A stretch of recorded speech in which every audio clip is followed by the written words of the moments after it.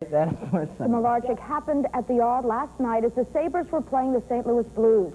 Sabre defenseman Uwe Krupp was riding St. Louis right winger Steve Tuttle into the goal. Malarchuk went down and Tuttle's skate scraped against the goalie's neck.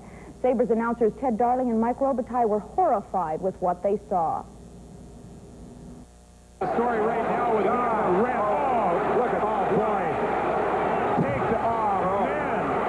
That is the oh my God. Oh, please take the camera off, but don't even bring it over there, please. Oh my God. Just keep it away. Oh, terrible. Oh my, oh my God, what happened? Fans were also horrified with what they saw, a six-inch gash in Malarchuk's left, uh, next left, blood pouring out on the ice. Probably one of the most frightening things I've ever seen in doing hockey. I've been doing hockey for uh, the past 30 years now, and I have never seen uh, a skate cut a player uh, like last night. And uh, thank goodness that they, at the right time they did uh, move the camera away after he did start to, to, to bleed in the goal crease. I've never seen so much blood in all my life. Well, that it's not as hard to watch as it might be, but it's something you may still find unpleasant, so be advised.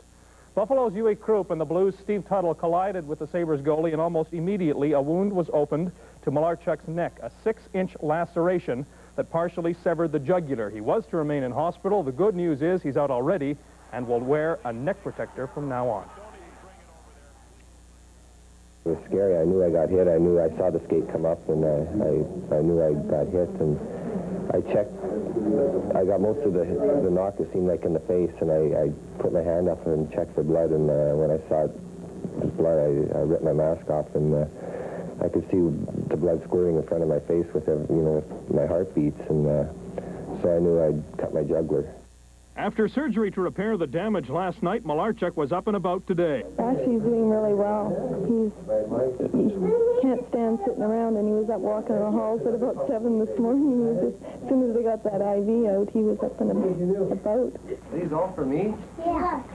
Boy, oh boy. Did you guys do these yourself? Yeah. These are beautiful. It didn't take long for the cards and letters to flood in, including a huge get well card from a local radio station. And Malarchuk's close call last night left these impressions.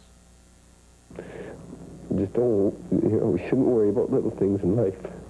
These kids are fighting every day, and uh, when you come close, it's scary.